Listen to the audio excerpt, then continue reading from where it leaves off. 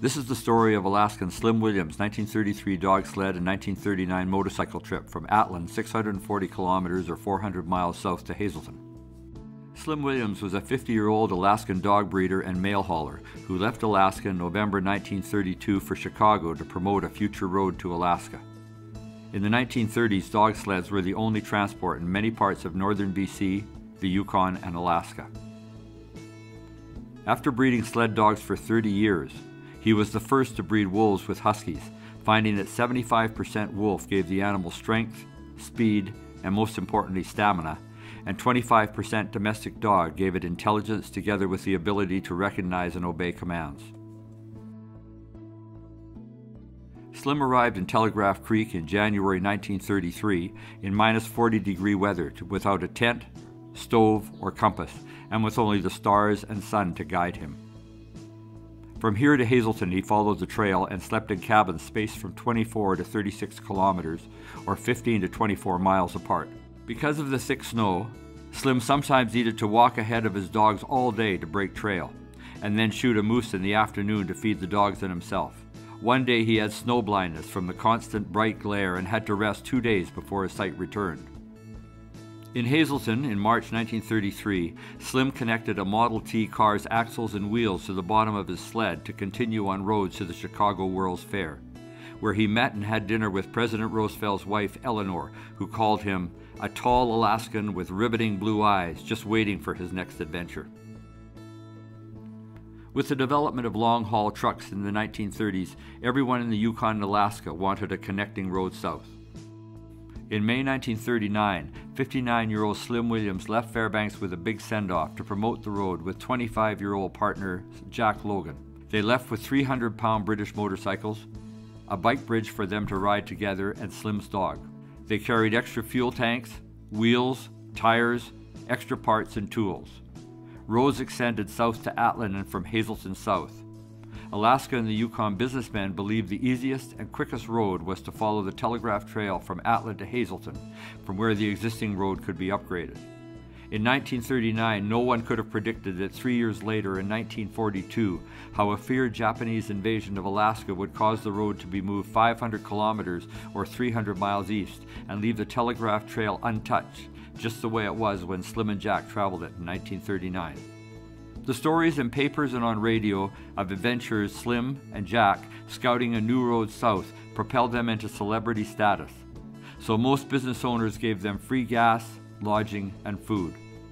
Everywhere they stopped, Slim had plenty of wilderness stories that kept people enthralled over dinner and morning breakfast.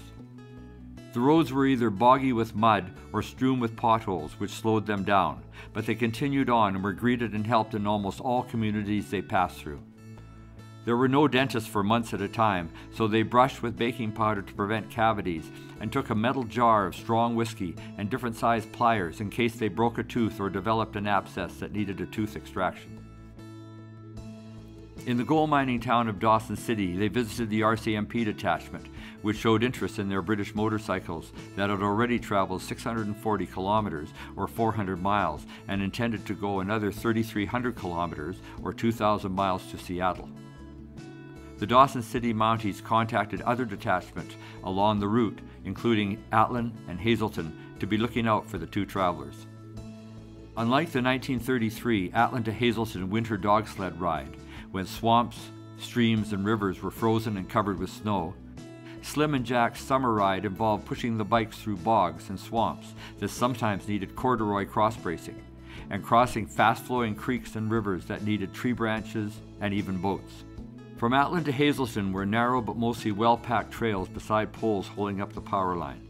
So Slim and Jack easily rode along sections that did not have swamps or streams, especially in the alpine above the trees. The sound of the two motorcycles kept away the hundreds of large grizzly bears they saw during their trip.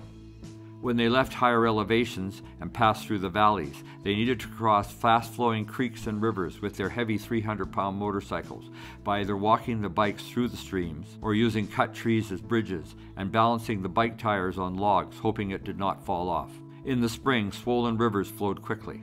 In July 1928, eight years earlier, linesman Scott Ogilvie from the Echo Creek cabin, eight kilometers south of Bob Quinn, slipped into the swollen Ningunsaw River and drowned while walking to meet another linesman to escort a 30 year old Russian woman, Lillian Alling, who was walking the trail alone right through to the Yukon. In the 1920s and 30s, Lillian Alling was the only woman to walk the trail alone and became a curiosity. Wildlife was abundant through their entire trip, including moose, bear, caribou, and wolves. From Atlin to Hazelton, they saw an average of 12 moose every day, so they were able to eat hearty meals. Food cooked over an open fire outside one of the cabins consisted of a moose roast impaled on a stick and rotated for even, slow cooking, moose strips ready to fry, thick pancakes, and coffee. They remained healthy, having a dry, warm bed or floor each night in either the linesmen's main cabins or one of the in between refuge cabins, located from 25 to 40 kilometers or 15 to 25 miles from each main cabin, that the linesmen kept for supplies and for sleeping while doing repairs during the winter when avalanches broke the 1 8 inch steel line. Because of the high snowfall and steep mountain slopes, there were more line breaks from avalanches between Bob Quinn and Hazelton than breaks in all other areas between San Francisco and Dawson City, Yukon. Over the wide, fast flowing rivers, Slim and Jack constructed boat frames with bent branches, which they then covered with sleeping tarps that supported one of the 300 pound bikes and a person across the river and then returned for the other bike. To power the boat, they whittled paddles and continued to be resourceful in developing ways to cross swamps, thick forests, and waterways. This wide river appears to be the Iskut River, which was one of the only wide rivers they had to cross. Slim's husky Blizzard got too close to a porcupine, which embedded quills in his nose that would become infected if not carefully removed. A dog was important in the wild, as it would detect the scent or sound of bears at night when Slim and Jack were sleeping, and the dog's bark would frighten away almost all bears. On the final days before Hazelton, they were met by horse riders and packers taking supplies along the trail to the cabins. They took their time before Hazelton and then entered town where they were met by the RCMP and town officials who welcomed them to their logging, mining, and railway station town. They had completed the 640 kilometer or 400 mile Atlin to Hazelton Telegraph Trail, the only unroaded section between Dawson City and San Francisco. Like this Northern Alaskan road completion, many new roads have been constructed through northern BC and the Yukon. However, because of its remote location, the original Telegraph Trail route is unique in the world and remains the way it was during Slim Williams' two 1930s rides. Plans are now for the government to rebuild the linesmen's cabins for a future 640 kilometer or 400 mile hiking, horse riding, and snowmobile trail.